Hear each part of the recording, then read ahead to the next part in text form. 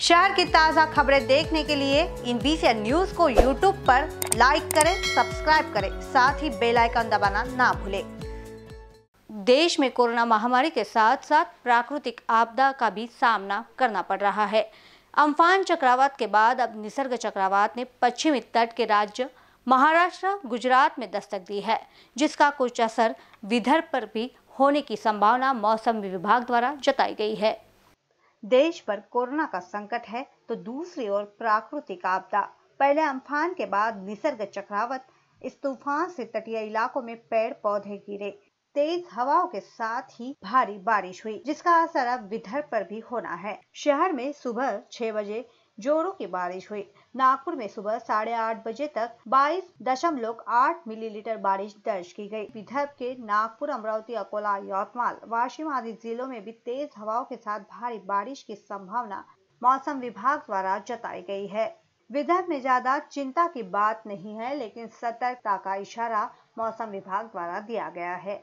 देश पर एक तरफ़ कोरोना का संकट है तो दूसरी तरफ़ प्राकृतिक आपदा। अम्फान के बाद अब निसर्ग चक्रवात जो है, महाराष्ट्र पर इसका खतरा मंडरा रहा है। हम जानते हैं, मौसम विभाग के अधिकारी शाहू जी से कि किस तरह से, ये जो निसर्ग चक्रवात है, इसका एक खतरा मंडरा रहा है। तो नागपुर और विदर्भ पर इसका कुछ असर होगा या नहीं? किस तरह से जो है फ़िलहाल का जो एटमोसफियर है, वो चेंज होगा, बारिश होगी, क्या हो सकता है? अभी जो साइक्लोन है, निसर्ग ये अलीबाग जो है, रायगढ़ डिस्ट्रिक्ट में, महाराष्ट्र में, उसके पास से लैंडफॉल होने वाला है मतलब वो लैंड में इंटर करेगा सी से। और ये आफ्टरनून में मतलब अभी इसका लैंडफॉल का प्रोसेस स्टार्ट हो गया है, दो तीन घंटे इसको लगेंगे पूरे लैंड में आने में। तो अभी सबसे क्रिटिकल समय होता है। इस समय वहाँ पर जो है, अलीबाग और आसपास जो मुंबई एरिया है, वहाँ पे काफ़ी तेज़ हवाएँ चल रही होंगी और बारिश हो रही होगी। और कोई भी जो साइक्लोन होता है, उसके कारण तीन इफ़ेक्ट होते हैं। कि जब वो लैंडफॉल करता है तो तेज़ हवाएँ चलती है, जैसे इस निसर्ग के केस में जो है सौ से 110 किलोमीटर प्रति घंटे की रफ्तार से हवा चल सकती है। दूसरा भारी बारिश होती है और तीसरा जो है समुद्र में ऊँची ऊँची लहरें उठती है, जो आसपास जो कोस्टल एरिया है, उसके गाँव को डुबा सकती है या उससे जो है वाटर लॉगिंग हो सकता है। तो अभी ये जो सिस्टम है, ये इसका मैक्सिमम असर जो है, जो ख़राब असर है, वो कोस्टल एरिया में होता है। उसके बाद जैसे ये अंदर आएगा, वो धीरे धीरे थोड़ा सा कमज़ोर होने लगता है।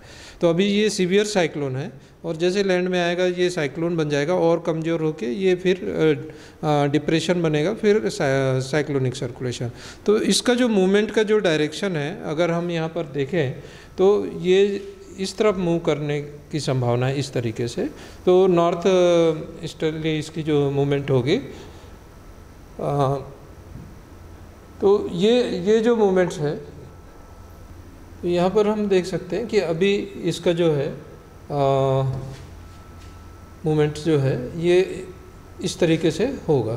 तो ये जो है आ, आज रात को जब ये आ, इस जगह पे पहुँच जाएगा तो इसका इफ़ेक्ट जो है ज़्यादा हमारे यहाँ विदर्भ पे होगा।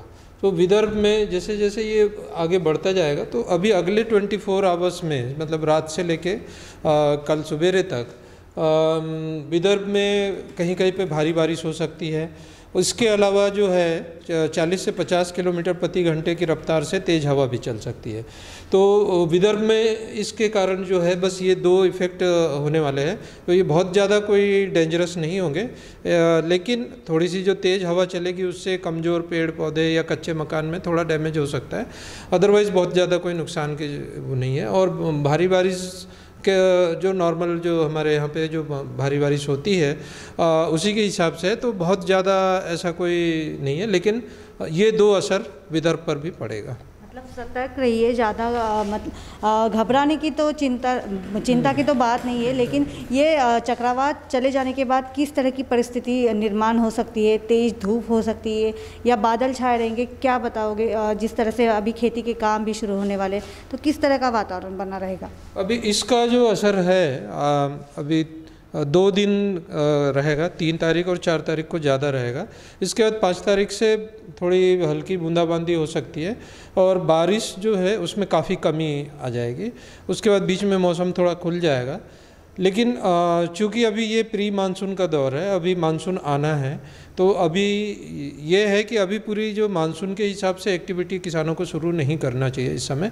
इसके बाद बीच में अभी ती, तीन चार दिन जो है बारिश थम जाएगी उस या हल्की फुल्की बारिश पड़ेगी। उसके बाद में फिर जो है प्री मानसून सावस जो है मानसून ऑनसेट के लिए वो दस तारीख के बाद में जैसे शुरू होता है तो वो उनको आगे की एक्टिविटीज़ करनी है। तो निसर्ग चक्रवात जो है जिससे विदर्भ पर ज़्यादा असर तो होने वाला नहीं है, लेकिन चिंता नहीं करनी है, लेकिन सतर्क रहने का इशारा दिया गया है। कैमरा पर्सन वीरेंद्र खोबरागड़े के साथ मैं Kshitija Deshmukh in B C N news Nagpur.